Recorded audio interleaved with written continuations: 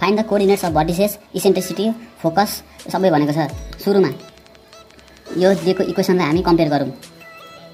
X square divide by a square plus y square divide by b square equals to one यो भनेको इलिप्सको equation हो। यसलाई भन्छ standard equation of ellipse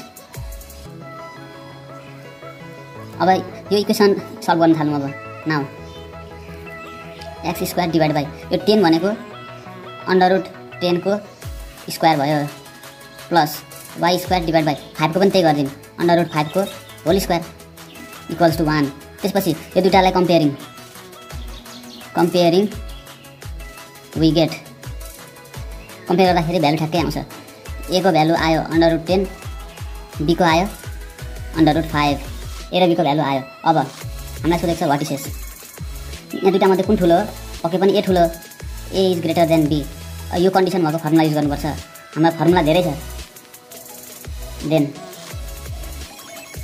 यहाँबाट हेरौँ फर्मुला भर्टिसेस भनेको ए ग्रेटर देन बी भएको बेलामा यो formula vertices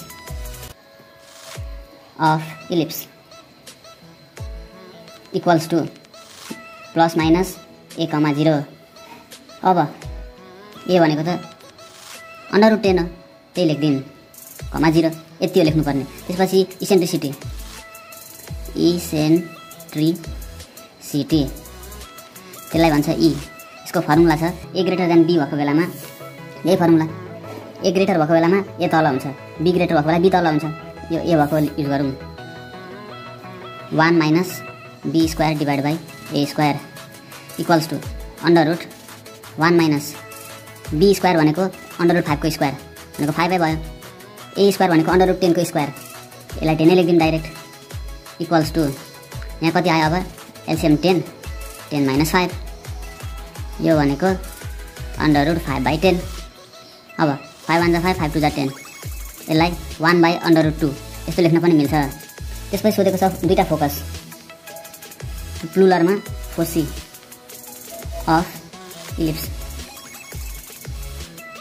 Equals to formula थाहा छ हामीलाई? Plus minus a e comma zero equals to अब ए भनेको यहाँ भर्खर निकालेकै छ। ए भनेको under root ten plus minus under root ten अब ई भनेको यो one by under root two comma zero यसलाई अझै सल्भ गरौँ। यसलाई plus minus whole under root ten by two comma zero यसले पनि लेख्न मिल्छ। टु वान जा टू टु फाइभ जा टेन यो भनेको plus minus under root five comma zero यति हामीले लेख्नुपर्ने। त्यसपछि इलिप्सको भयो।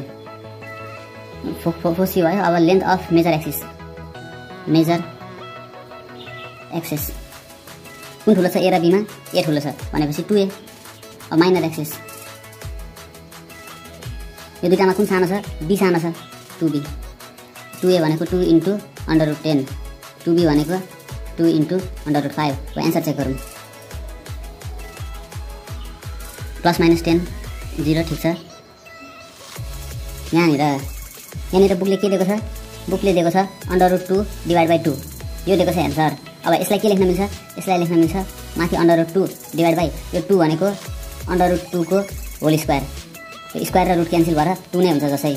अब यो भनेको under root two divide by दुईवटा अन्डर रुट टू यो भन्न खोजेको अब एउटा र एउटा काटेपछि कति भयो? One by under root two अथवा एन्सर यो लेख्दा पनि हुन्छ यो लेख्दा पनि हुन्छ। यो लेख्यो भने यहाँ सल्भ गर्न सजिलो हुन्छ। त्यसपछि यो पनि ठिकै छ। टु अन्डर रुट टेन यो पनि ठिक छ यो पनि ठिक छ। सबै एन्सर ठिक छ। Bye bye. Thank you.